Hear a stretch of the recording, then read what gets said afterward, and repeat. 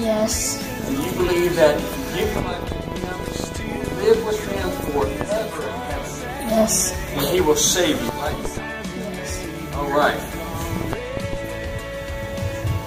Sammy, my son, I baptize you. In the name of the Father, Son, and Holy Spirit. Buried with Christ in death.